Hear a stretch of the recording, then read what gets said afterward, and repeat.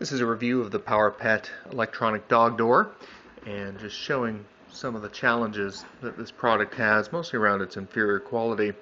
This is the actual sensor that you put on uh, on the dog around his collar.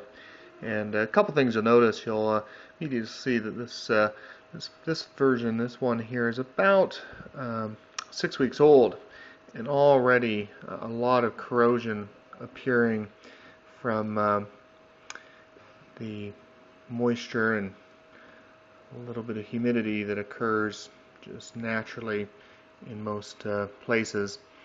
Um, the other thing is, uh, may be a little difficult to see here, but as you can tell, uh, the product itself uh, very poorly soldered and the uh, transistors and board used uh, looks very, very cheap. And as a result, the sensors often break down quite rapidly. So um, uh, it's difficult, in fact, even to, to crack these uh, things even open and take a look inside. But at uh, 35 bucks a pop, you'd expect them to be a lot better made. I'm also quite surprised at the quality of the, the little leash that they provide. Um, I think they'd offer something that would allow you to tie it onto an existing dog collar.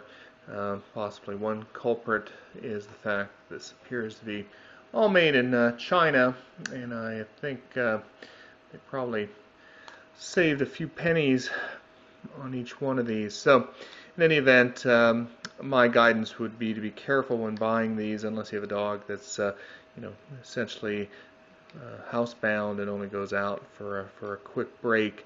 Uh, you'll quickly be disappointed in the fact that the dog can't get out at all with these uh, sensors.